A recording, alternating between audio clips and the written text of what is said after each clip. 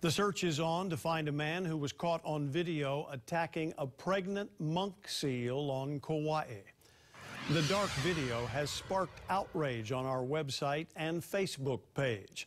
Federal authorities say the man in this video is attacking a 17-year-old monk seal named RK-30 at Salt Pond Beach on Kauai last night. The monk seal does fight back and the man eventually leaves the scene. NOAA says the monk seal was not seriously hurt. It's not the first time something like this has happened, and advocates say more needs to be done to protect the endangered animal. Brent Remadna joins us with more. Brent? Well, Joe, what caused the man to attack the seal is still a mystery, but multiple agencies are working together to find him and bring him in. I was very disappointed and shocked at this video and the disrespect uh, that took place. The video of a pregnant monk seal being attacked on Kauai has left many people outraged, including Kauai Mayor Bernard Carvalho.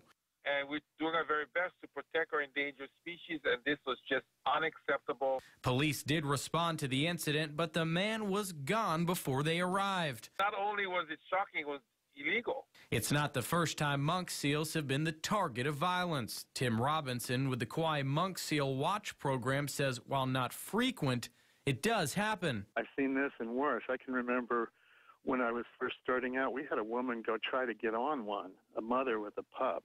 Anyone caught harming a monk seal can be fined up to $50,000 and up to one year in prison.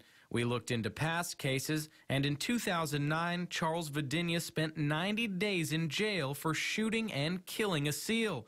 In 2012, Travis Kane had to do 80 hours of community service for throwing rocks at a seal. And just last year, Jamie Rice spent five days in jail for harassing a seal. What we need is to see it enforced emphatically with maximum penalties applied as a message that this this is not good. This should not happen.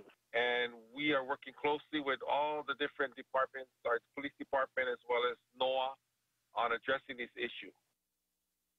And if you have any information on this monk seal attack on Kauai, call NOAA. We've posted the number on our website. Brent Remadna, KHON 2 News.